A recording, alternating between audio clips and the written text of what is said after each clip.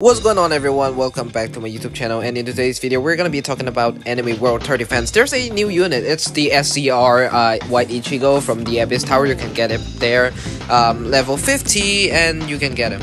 Without further ado, let's start the video real quick. So basically, here he is, White Ichigo, dang, dude looks so sick, like no cap, like 100% being honest. Anyways, first upgrade, I mean the first placement, 12,000 damage, 56 range, 5 second per attack. Alright, um, let's see. So here, his attacks are quite good because it gives a good passive, white, which gives uh, 1.5 per times damage and then also slows the enemy down, which is mad crazy for a passive that's cool as that.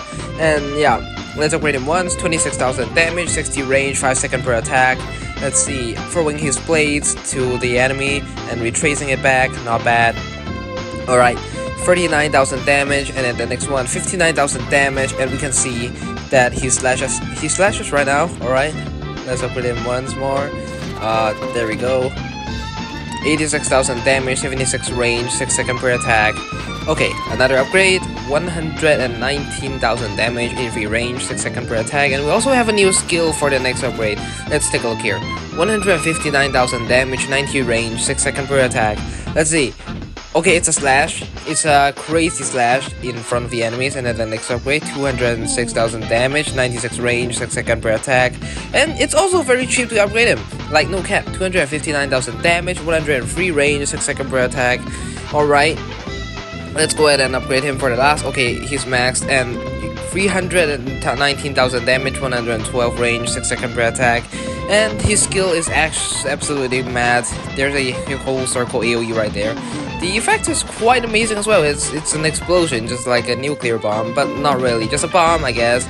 But without further ado, let's go and showcase another type of thing that he's good at. So we got Chaos Symbol here, uh, which gives him the symbol, and his attacks are much more better. He's now at 1 million damage, like it's crazy. We also got I here to do the support, which gives him another another buff. Anyways, we can also put uh, Flower Magician down to give him 20% range, but that's unnecessary. So yeah, as you can see here, Leader buff, Attack buff, and Chaos Symbol, crazy. We also got the white, white passive, as you can see on his head. It slows the enemy down, and it also gives 1.5 times damage. And you can also place 4 Ichigos. 4, like literally. That's mad as heck. And as you can see here, this enemy is quite mad and has gone through all the Ichigos. Well, it's not a it's not the problem here. I think it's 150 billion damage for this guy, and yeah, that's why it's so hard to kill. Anyways, you can see why, and I'll just uh, it's self-explanatory, so I'll just play the, the rest of the video, and yeah.